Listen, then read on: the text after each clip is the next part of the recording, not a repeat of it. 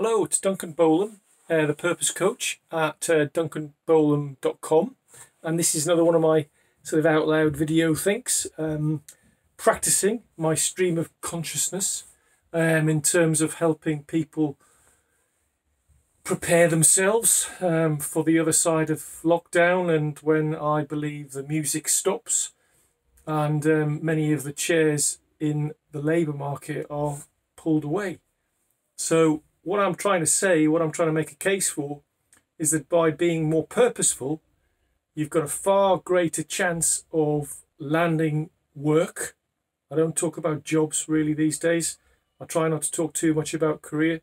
Most important thing to me is it's about a sense of livelihood and a sense of meaningful work and how you derive that. You can be a freelancer, you can be full-time permanent employed person, you can be self-employed, sole trader, gig economy worker, whatever you want to call it. We're just talking about work here. So I, in many of my other films, have spoken a lot about um, having a beacon on the horizon, my Arnold Schwarzenegger pose here, a beacon upon the horizon that you aim for every day, gets you out of bed in the morning, propels you through the day, and keeps you going and going. And you aspire towards this sense of purpose if it was your North Star.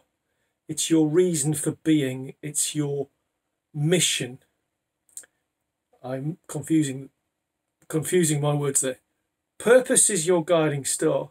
Mission is how you go about steering towards that on a daily basis. It's what you do, it's your vocation, that's your mission. Now, something I just thought about overnight, as is, as is the case with me, is there's huge responsibility to tuning into your purpose and it can make life quite difficult. Now, let me see if I can explain why with a simple diagram that I haven't even rehearsed. Um, I'm just sort of thinking out loud here. What it is, if we likened our purpose to a transmission tower, and on the top of that transmission tower, we have our sort of the orb of our guiding star. This is what we kind of get up at in the morning and we're aiming towards that.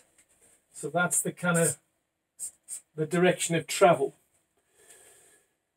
When we wake, bearing in mind today in 2020, uh, this is an old statistic of at least probably 10 years old, but I came across a statistic which I've used regularly in my other films and my writing that there are 75,000 times more goods and services in existence today than there were in 1975.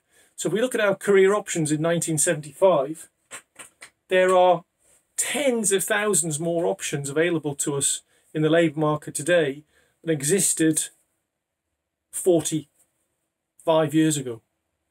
Now, that's a huge pressure, and it's very difficult sometimes for us to translate this to our loved ones, how difficult it is, how taxing it is to make a an decision on our occupation, on our vocation, how we're going to earn our livelihood. We're talking about livelihood.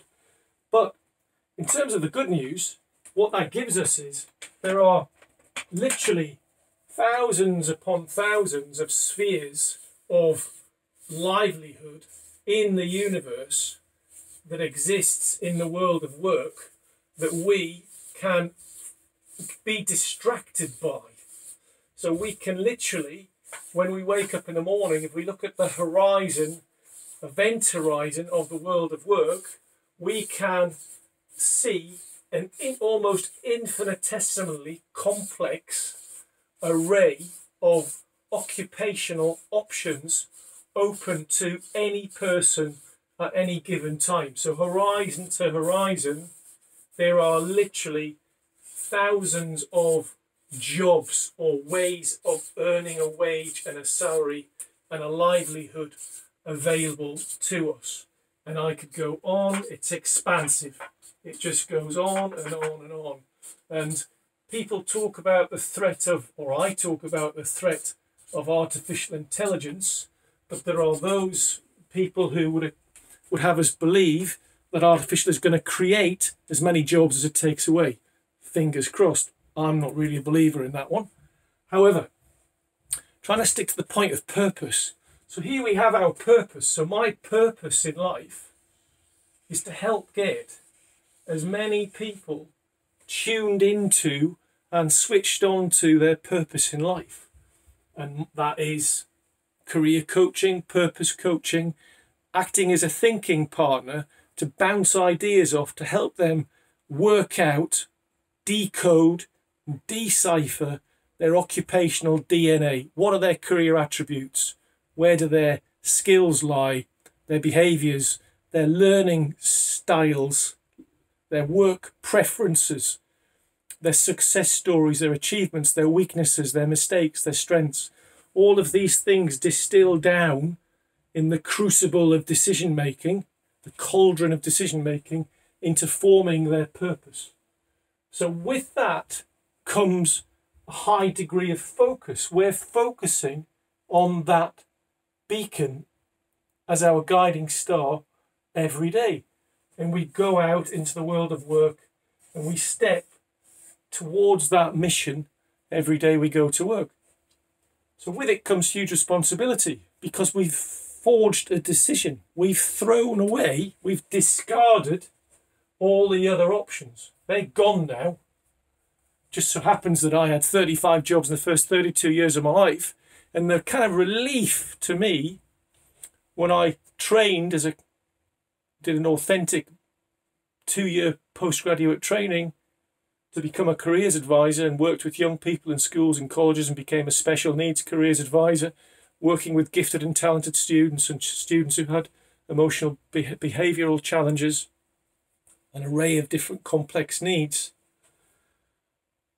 I formalized my focus and it was a relief at the same time as being a responsibility that we push all of our other options aside and we focus our attentions on investing and marshalling all of our career attributes towards that goal, that objective, that, that mission that we achieve through work towards our purpose, which is act as our guiding star.